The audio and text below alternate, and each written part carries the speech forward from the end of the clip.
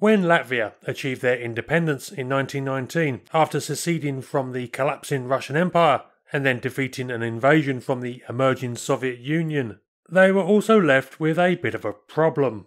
Like all the new Baltic states, they were small countries with big neighbours, and the new Latvian nation's security, indeed its very existence, was going to prove to be at the whims of the dealings of the major regional powers.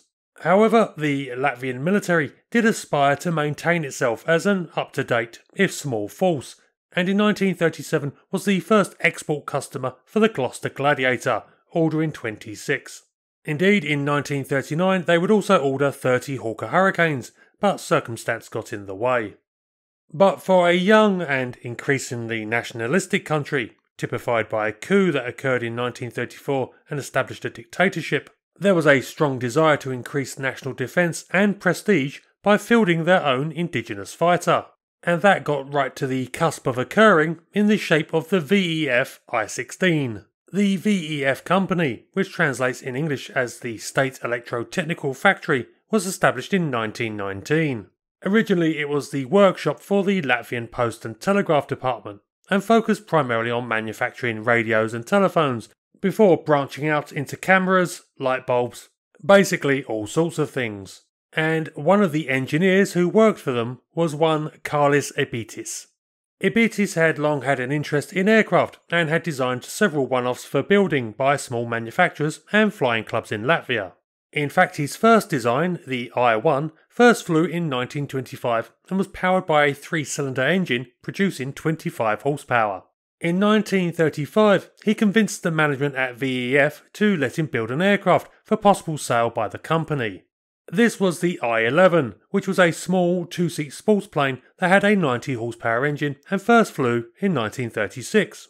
The I 11 was the first of a series of gradually improving and more powerful designs that was intended to ultimately create an indigenous Latvian fighter aircraft.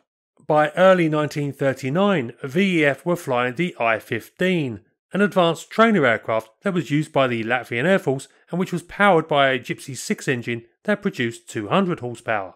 And design work had already begun on the first dedicated fighter aircraft, the aforementioned I 16.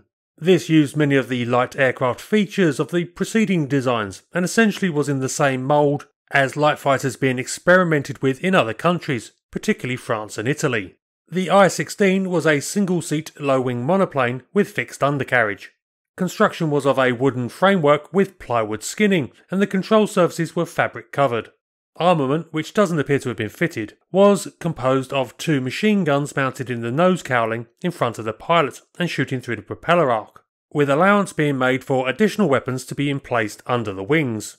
Depending on the source, this would have been either two more machine guns or possibly two 20mm cannon.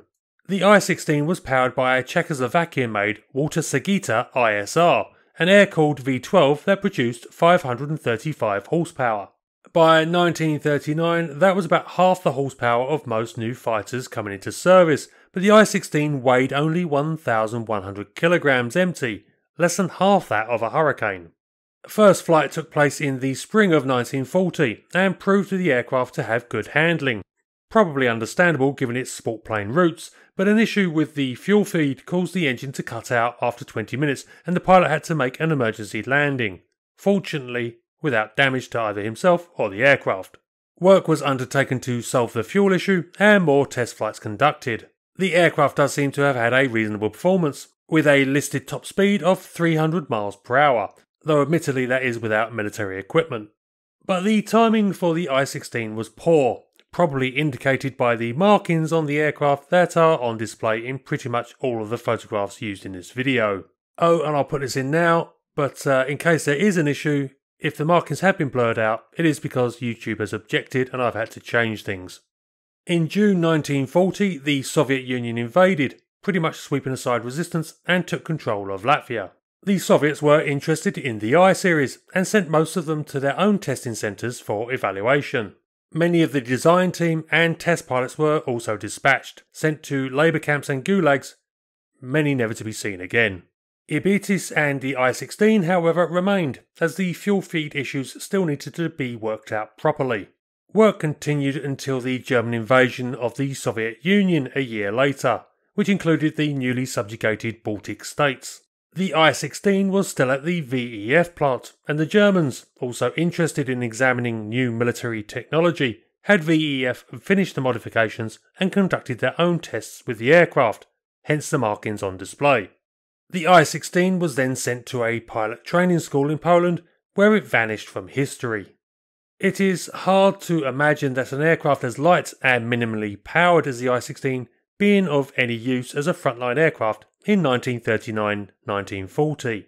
But as said, serious consideration was given by most of the major powers at the time to the building of lightweight fighters in this vein, and the I 16 seems to have been a solid and competent example of this concept. And it was also intended to be another stepping stone, because Irbītis was already planning a fully modern fighter to replace it, the I 19, even as the I 16 was being developed. And considering the speed that he was putting out improving aircraft in, from the I-11 with 90 horsepower in 1936 to the I-16 with 535 horsepower in 1940, I wouldn't have bet against him. Because as a designer, he would prove to be no slouch. After the war, Irbītis managed to escape to Canada, where he got a job with Canadair, where he was a key designer on the CL-84 project, one of the pioneering tilt-wing aircraft. But in terms of his what-if fighter aircraft, this is all speculation and the I 16 was to remain the only fighter ever built by Latvia.